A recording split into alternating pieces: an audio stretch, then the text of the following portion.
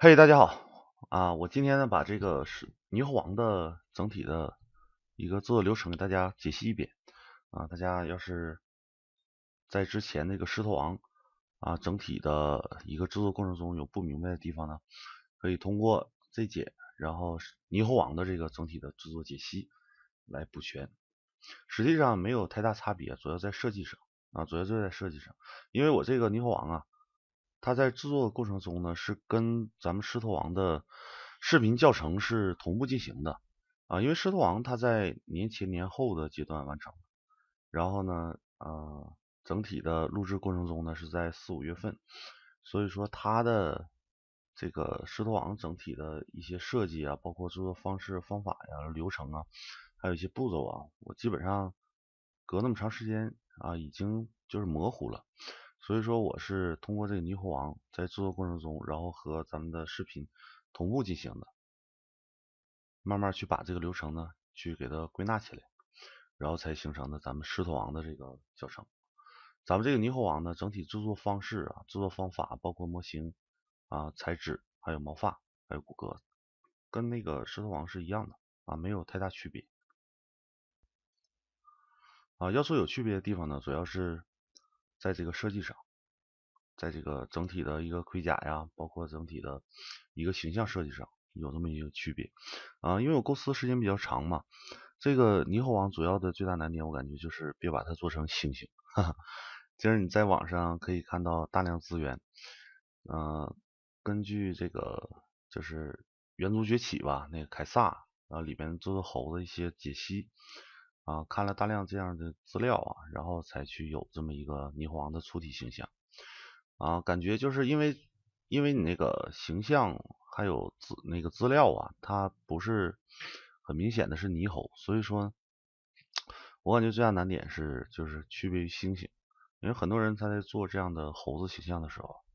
包括那个咱们网上也有人去做一些啊孙悟空的形象。都把它做的非常猩猩化啊，包括有些电影啊，他把最后的那个孙悟空形象去定位一个大猩猩，我感觉是有点不伦不类了，是吧？所以说我这里就是主要区别于猩猩，因为很很容易你就做成猩猩了，因为你做猴子嘛，做猴子找一些资料，像猕猴它本身毛发覆盖的特别特别密，然后整体形象你看它圆咕隆咚的毛茸茸的啊，但是整体你要去。实际跟那个啊整个肌肉啊形体结构啊，然后覆盖毛发呀，它就会有一个设计误区啊。这以后我要讲的一个设计差设计误差，它会出现一个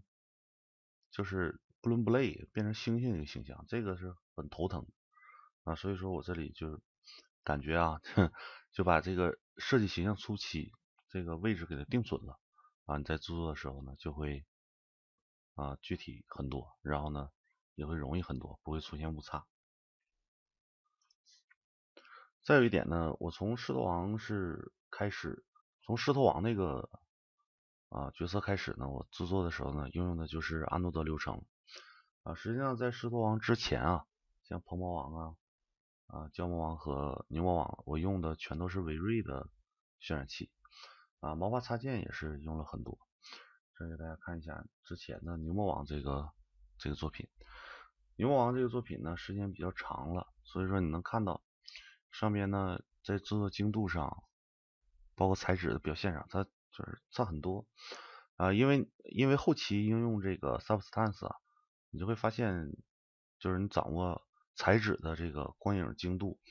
反射、金属啊各种表现，你就会非常拿手。之前的这个牛魔王呢，我应用的还是。啊，就是传统的一个，就之前啊，传统制作这么一个流程，就是把贴图给它跟 Mary 给它贴好，然后呢，通过伟瑞去测试，然后去渲染的。啊，它整体这个材质光影表现的，我感觉不是那么很到位。当然这也是时间嘛，两年前的作品啊，有个时间积累啊，必须得有进步嘛。啊，咱们这里主要说设计啊。啊，从这个牛魔王在制作的时候呢，它本身那个盔甲就是倾向于长嘛，你包括这里的一些丝绸扎带啊，还有那个包裹胸前的这样的一个盔甲，整体包裹的样式啊，就比较中规中矩。其实我在制作盔甲的时候呢，就往后胶膜王啊、鹏王啊往下制作下来的过程中呢，一直想在这个盔甲表现上去有一个新的突破。像这个牛魔王，它本身就比较中规中矩了，而且技术应用的呢，基本上也不是那么特别纯熟啊。然后从这个胶魔王开始，从胶膜开始，我感觉在这个铠甲制作上突破上就有了一定的啊一定进步吧，我感觉啊整体的这个胶魔王，它在毛发应用呢是啊跟那个牛魔王是一样的，是 C 五，是 C 五啊，这里毛发较少。啊，后来我就不知道怎么回事了啊，去慢慢去制作这个啊狮头王和和那个猕猴王的时候，就大量毛发覆盖呀，就做起来特别费劲。实际上没有之前像这牛魔王和蛟魔王啊制作那么容易，因为毛发较少嘛。毛发是一大主要的特效，我感觉啊，就是它比较耗精力和时间。你要调一个好的造型的话，你必须要大量的时间去测试啊。像这个蛟龙王，其实我个人感觉啊，你就这个角度你看起来可以，其实它其他角度来说的话，我认为我在就是对于蛟蛟魔王这个表现上不是那么特别好啊。你感觉这张是不错，但其他角度来说就就不是特别好，包括它的 T boss 形体不是那么特别好看，整体它还是。就以这个固定视角来说还是可以的，但是呢，就是往后越来越就是制作这个越来越熟练吧，整体的从狮头王开始到这个猕猴王，嗯啊就会有一一点就是最大进步，就是不管是任何角度啊，它都会很漂亮，就整体造型啊，这个是我感觉是比蛟龙王进步的一个地方。但是你要一提到设计，嗯，说到设计，其实。每个人都见仁见智啊，而且每个人有自己的看法。你同样一个形象东西，在每个人的这个心目中和脑海中，他的形象和啊，他那个就他感觉 get 那个点呢，他就不一样。他每一个人他都是不一样的。所以说，对于一个啊作品的这么一个设计上，肯定是有人看起来好啊，有人看起来不好，这是肯定的。但整体来说啊，我感觉。对于个人的一个，就对于我自己来说，一个成长进步呢，从设计啊到啊制作的这个流程掌握的越来越熟练呢，是一个很大进步啊。这个呢也是，当然是靠时间去慢慢积累的啊。然后咱们再回到这个设计上啊，可以大家可以看到这个从从这个牛魔王开始啊，整体盔甲的包裹啊。然后到这个胶魔王啊，胶魔王它本身的一个盔甲覆盖，实际上胶魔王我我本身想到一点什么，它本身是一个比较灵活、活动比较灵活的这么一个角色，所以说在它盔甲设计上呢，就不是给它限制太多啊，整体的就是一个腰部和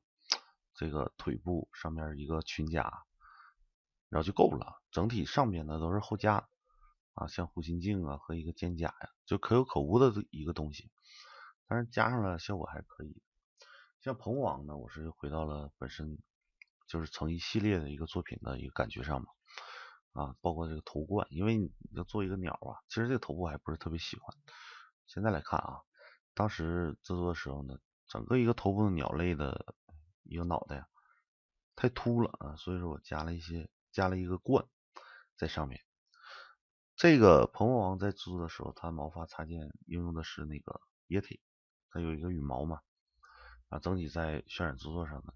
就是中规中矩。但是呢，可以看到啊，我在应用这个就是形体啊模型在处理上啊，包括材质上，就会 比之前有一个更整洁的这么一个效果，就是也是一个进步。啊，其实每一个人他的作品呢，你在做的过程中都是有一个进步的你要没有进步的话，那肯定是不好的，对不对？啊，肯定是有进步的。这里呢也是应用了一个微锐啊，微锐的一个渲染。其实微锐我在做的时候呢，它主要的一个金属的反射，就直接是应用它的这个颜色贴图啊。只要颜色贴图你给到了，就做的做的还行啊，然后你直接贴到它的这个高光上，它反射这个金属效果就特别好。啊，这是泡沫网它本身的一个应用。啊，像狮子网大家都熟了，看过教程人都知道了。狮子网在制作过程中呢，就是很很多东西啊，就跟之前都不一样。像那个泡沫网，我还没用 Substance 做这个贴图，然后这个狮子网是用 Substance 做贴图，在实际上一些细节的表现上，像盔甲细节表现上啊，就更容易去处理啊，像这个金属的表现呐，皮质的表现呐，就更容易处理。然后像那个制作到霓虹网的时候，这皮的感觉就特别好了，像这种皮甲的感觉啊，在处理上就特别好。其实我感觉这个霓虹网整体的呃一个制作的解析啊，主要重点就在于它的盔甲设计上。之前大家可以看到我之前那个盔甲应用都基本上都是要不就是布料，要不就是金属啊，绝大部分是就是甲嘛，绝大部分是金属的东西。金属质感，然后后来呢是参加一些皮甲嘛，皮甲的质感表现，然后布料质感表现。这里霓虹网呢，我之前在做设计的时候，